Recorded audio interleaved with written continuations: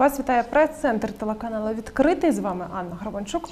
І тема нашої прес-конференції наступна: Подат... е, правки до податкового кодексу України. Як збільшення податків для малих фермерів та власників паїв позначуться на агробізнесі Дніпропетровщини? Про це сьогодні говоримо з фермером та головою громадської організації Народна воля Дніпра Іваном Маркевичем. Пане Іван, вітаю вас. Добрий Ну що, розповідайте, е, як такі зміни власне позначуються е, на вас? Ну, фактично, сьогодні е, держава в особі е, пана ініціатора, пана Гетманцева та 255 е, скажімо так, злочинців, які також натиснули ці кнопки, збільшили податкове навантаження на малий та середній агробізнес. Чомусь е, ці правки йшли разом в пакеті із правками так званими антиолігархічними, хоча назвати дрібних землевласників олігархами, як мінімум, це цинично і е, дуже неправильно. Що насправді відбулося? Е, Що насправді відбулося? Фактично збільшили е, податкове навантаження до 5% від нормативної грошової оцінки земельної ділянки. Тобто е, в середньому на сьогодні це 1000 гривнів з гектару. І якщо власник умовно 20 гектар сьогодні платив е, десь 3-4 тисячі, е, 5 тисяч в рік, то зараз він вимушений буде платити е, 20 тисяч у рік. Але це ще не кінець, тому що безумовно податкові органи, як вони це люблять, вони направлять нас отримувати нову нормативну грошову оцінку. І тут, е, враховуючи той факт, що це централізовано надає держава, можуть початися відверті чудеса, і багато фермерів узнають, що вони платінові мільярдери. Мільйонери, і відповідно, ця нормативна грошова оцінка буде збільшена, і 5% це відповідно може бути і більша сума.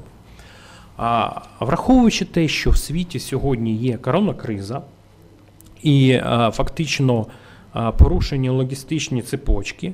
І е, одним із, як ми бачимо, логістичні цепочки порушені, і багато продуктових магазинів вони зараз не заповнюються. Дійсно, є такі факти у світі. І е, як ми бачимо, одним із ключових аспектів е, для будь-якої держави є е, продовольча безпека, там армія і так далі, таке інше. І якщо у Європі, у всьому світі підтримують сільгоспвиробників, то у нашій державі чомусь їх намагаються знищити. Я хочу нагадати, що в історії України таке вже відбувалося. Фактично е, привести цей приклад, тому що від оцих правок і від цього ринку землі, який сьогодні прийняли, виграють агрохолдинги та великі транснаціональні корпорації. Безумовно, сподівання на те, що е, це збільшене нав- податкове навантаження змусить або продавати власні паї, тому що ну не дуже е, люди поспішають продавати землю, або здавати за безцін в оренду, тому що безумовно агрохолдинги скористаються ситуацією задля того, щоб взяти цю землю. Безумовно, е, посилаючись на державу, вони будуть е, платити мінімальне навантаження, тому що сьогодні власник пає або грошима, або продукцію отримує певну суму. е, За вичетом податків, тобто зараз він буде отримувати ще менше. Більш того, якщо порівнювати, от були маніпуляції з приводу агрохолдингів щодо ніяк е, неконкурентних засад, то це не є коректне. По-перше, конкурентна е, перевага агрохолдингів, вони можуть найняти аудиторів, які мінімізують, складуть так бухгалтерську звітність, що мінімізують ці податки. Повірте, вони не будуть в повному обсязі платити ці податки. Друге, сьогодні мелкий та середній товаровиробник тих умовах, в яких ми існуємо, вимушений продавати свою продукцію посередникам, які зачастую банально утворюють цінову змову. І фактично ми не маємо змогу продати по адекватній ціні продукцію. Агрохолдинг може сформувати крупну партію і продати безпосередньо за кордон. Якщо умовно кажучи, е, на сьогодні для мілкового середнього е, товаровиробника в середньому тонна пшениці закупівля коштувала е, в період жнив десь 5-5200, то агрохолдинг може цю пшеницю продати за 10 за 15 тисяч. Скажіть мені, це конкурентні засади? Це конкурентні умови, тобто вони вже мають надлишкову грошову масу і можливість її реалізувати. Тобто, коли у нас вводили поспіхом цей так званий ринок землі, чомусь люди не подумали. Можливо, ми створимо якісь конкурентні умови для того, щоб люди могли збувати продукцію. І я можу привести приклад Поль- Польщі, так, європейської спільноти. Там, до речі, превалює міл- мілкий та середній товаровиробник е, виробник. В Германії взагалі, якщо ти за середній виходиш, то податками тобі таким чином намикають, залишайся там. Ми йдемо по латиноамериканському сценарію, і е, сьогодні е, все, що було зроблено, це з метою, щоб е, багато людей задумались, вони вважають, що все немає сенсу, нема арифметики цю землю обробляти е, і таким чином продавати землю. Яким чином це може відбитись на продовольчій безпеці? Тут я вам можу навести простий приклад. Якщо взяти північного сусіду, то він взагалі схильний до монополії, навіть там прийшли до того, щоб е, дрібнити великі підприємства, тому що внаслідок помилки одного-двох людей був масовий неврожай, і е, таким чином е, е, десь там за Уралом велика кількість людей вони були під ризиком голоду. Коли є багато виробників, по-перше, є конкуренція. По-друге, ці виробники можуть не тільки за кордон продавати, а й на внутрішній ринок, що дуже добре для споживача. Тому що коли будь-яка монополія, тут ще е, мешканці міста відчують це на собі, будь-яка монополія на продукти харчування, повинні всі розуміти, що ці ціни вже не будуть е, корелюватися конкуренцією. Тобто мілкі дрібні фермери позбавляють змоги навіть торгувати цим законом, тому що обкладають великими податками. Сьогодні людей фактично поставили під вибором або е, все кинути та е, піти в трудову міграцію, продати це все за безцінь. Е, Відповідно, коли вал почнеться, то ціна на землю зменшиться значно. Або інший варіант е, чинити якийсь спротив.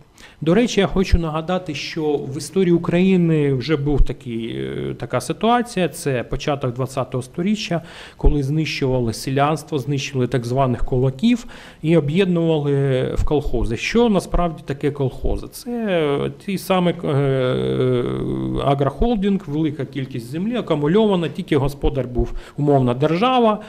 Зараз багато колхозів вони перейшли, так звані агрохолдинги. Фактично, якщо ви подивитесь історію, це колхози, е, які просто перейшли під е, керування е, однією там приватною чи групи приватних осіб.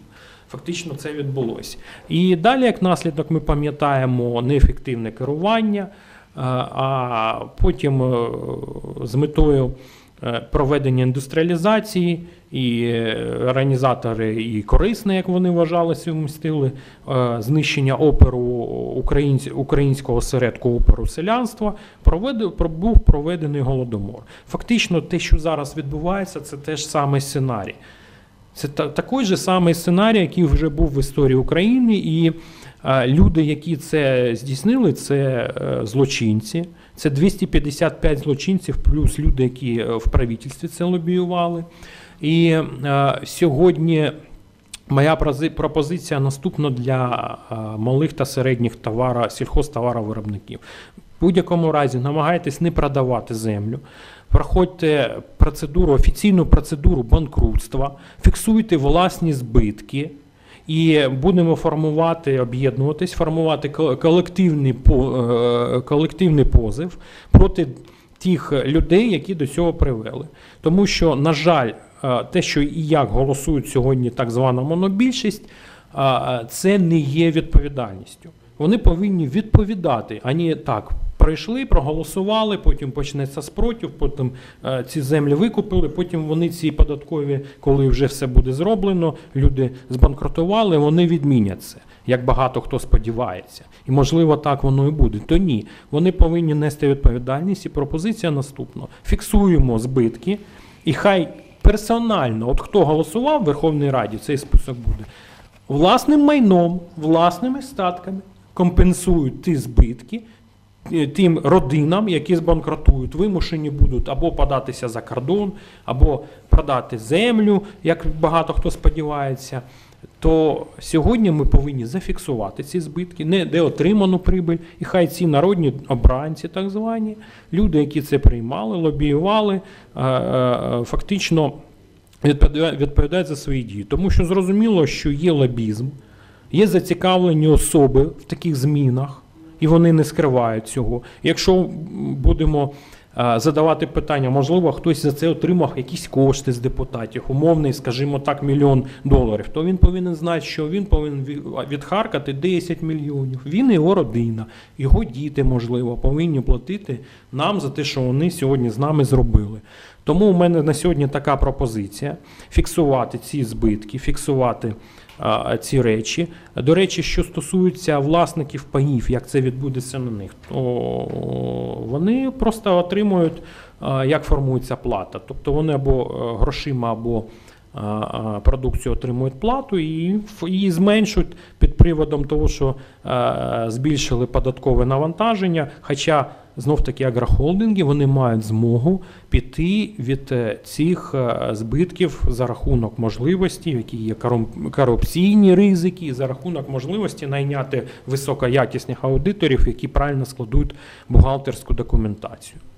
Власне, про збитки ще хочу запитати, чи залежить взагалі от податок, так, оці зміни від а, врожаю або не врожаю? Ні, ніяким чином вони не залежать. Ці ризики законодавці взагалі не врахували. Більш того, в чому є перевага агрохолдингів. В них є велика площа. Якщо на певну культуру у них не спрацювало неврожай, то за рахунок іншої культури вони взагалі можуть е, цей неврожай покрити, то власники паїв і мілкі та середні фермери вони, на жаль, не мають змогу е, е, фактично багато культур садить і за фактом сів, е, сівозміни, і за фактом того, що у них обсяг площа, земельний банк не такий великий, тому вони не мають можливості таким чином підстрахувати себе. Тому ці збитки не вкладені, і е, прикладом може бути наступне. Е, Зараз вони пропонують 5% від оцінки номінальної грошової оцінки землі. Я думаю, що коли фермери підуть до податкової, їм запропонують отримати нормативну грошову оцінку трошки іншу, і там взагалі можуть бути чудеса, тому що багато фермерів дізнаються, що вони великі мільярдери, платінові або брилянтові, і е, цей податок буде в рази збільшений. Чи будуть питання? А в мене ще будуть питання. А, зараз ми бачимо, так, от у нас, напр- наприклад, зміни будуть з 1 січня в РРО про касові апарати. А, чому не бунтують малі та середні фермери? Тому що вони знаходяться в областях, от чому от немає чи такого масового супротиву? Чи не всі розуміють, що сталося? Дивіться, яка ситуація? Багато фермерів, е, у нас же ж влада, вона дуже хитра. Ну, по-перше, вони маніпулятивно, вони питаються це провести вже другий рік. Тобто в минулому році це не пройшло. Адіозний Даніл Гетманцев намагався це провести законом 3131Д, але в нього це не вийшло. Зараз він впихнув це цинічно в антиолігархічний пакет, тобто ми вже всі олігархи виявились тут. Ну, ви ж розумієте, що це брехня і маніпуляція. Поєднувати в одному пакеті всі ці зміни. І багато фермерів ще сподіваються, є інерція, що держава буде щось компенсувати. Якщо і буде компенсація, то вона буде виключено своїм. Зазвичай на сьогодні цю компенсацію отримують знов агрохолдинги. Більш того, я глибоко переконаний, що таким чином ще й буде формуватися передвиборчий фонд можливий людей, які сьогодні це пролобіювали і прийняли. Тобто лояльним е, крупним агрохолдингам буде все, всім іншим закон. Тобто ми можемо, ми бачимо приклад, е, до речі, корупції, на якої є питання. Ну знов таки я нагадую, що в історії України це вже відбувалося і закінчилось голодомором. Тобто, як це на пересічному мешканці відбудеться, да будь-яка монополія вона завжди погана. Тобто, якщо ми бачимо по нашим тарифам, і сьогодні ми не можемо змінити е, поставщика, формально нам дали таку змогу, ну реально це ж всі енергоносії у нас постачають е, певні компанії. власники яких відомі. Якщо вони там формально поділили між собою, то о, реально це ні. Приклад е, або газові війни, коли людям фактично платіжки е, за е, приходять, і більшість вони платять, вони не йдуть до суду. У мене були конфлікти, але я завжди готовий йти до суду, до правоохоронних органів. Але скільки це нервів, скільки це всього. А коли це буде відбуватися ще й на харчовому ринку, то я думаю, що хорошого в цьому не буде нічого. І будь-яким чином протидіяти цьому у людей не буде змоги. Відомо, що ви член спілки фермерів Дніпропетровської області, так? А чи відома вам позиція всеукраїнського так союзу фермерів? Яка в них позиція? позиція? Ну, Багато людей, яких я знаю особисто, і в обласній спілці фермерів, і е, в асоціації фермерів, і приватних землевласників, бо у нас насправді є декілька таких професійних організацій, і позиція відрізняється. Але у більшості своїй переважній дрібні та середні фермери вони мене підтримують.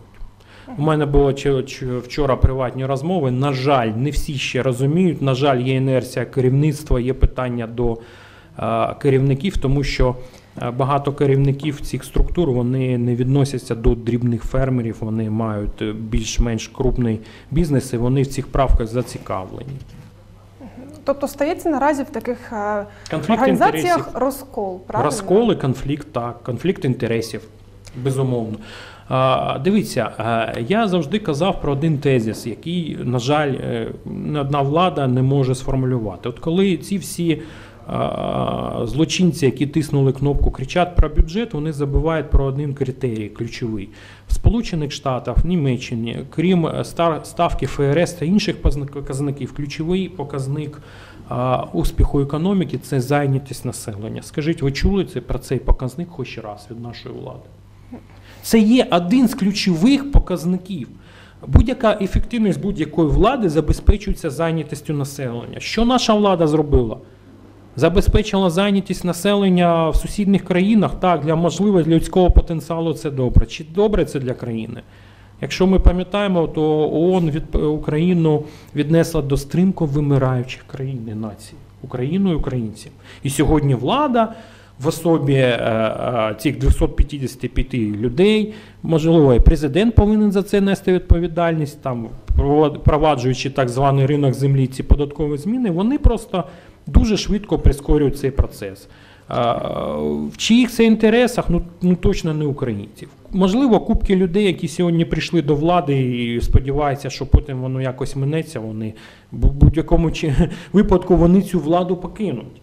Але сьогодні ми повинні казати про відповідальність, не як ви звикли, там наприймали е, якісь закони, і все, і живуть собі. Ні, вони повинні відповідати за те, що вони там роблять. Тому що на будь-які лобістські ініціативи повинен бути механізм стримування. От сьогодні прийшов час для держави, для громади, для фермерів, для підприємців, яких е, також спрощеної системи оподаткування е, залишають без цієї спрощеної системи сформувати цей механізм. Тому сьогодні повинні всі фіксувати власні збитки, проходити процедуру банкрутства, вимагати, щоб влада також приймала закони стосовно банкрутства і таким чином, таким чином примусити їх до відповідальності. Хай вони майном своїм власних родичів відповідають перед тими, кому вони зараз е, фактично знищують. То іншого я сьогодні виходу поки що не бачу. Е, Чи сьогодні готові об'єднатися спільноти? Ну, подивимось. Подивимось, тому що багато людей вони ще наївно вірять, що буде щось добре, можливо, буде компенсація.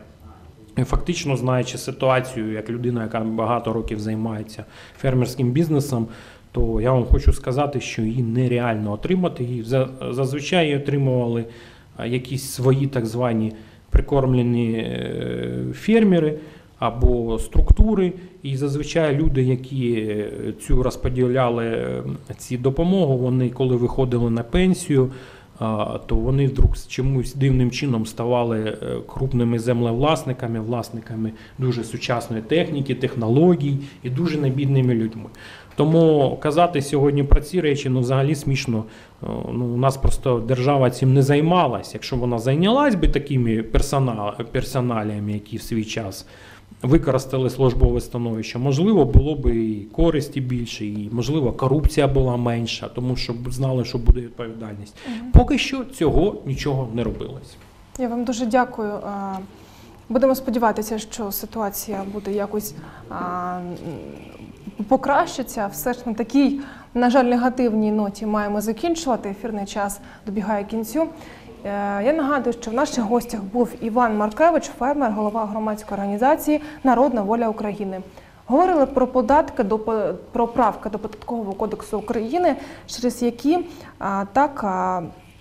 Ну, Зокрема, вони збільшені для малих та е, малих фермерів та власників паїв, як власне вони позначаються на агробізнесі Дніпропетровщини. Нагадую, що якщо ви хочете долучитися до наших е, прес-конференцій, зокрема запропонувати свою тему або ж написати питання. На екрані ви наразі бачите наші соціальні мережі. Знаходьте в них дописи прес-центру та е, прямо у коментарях пишіть свої побажання. Ми обов'язково все побачимо. З вами була Анна Горбанчук. Дякую за увагу.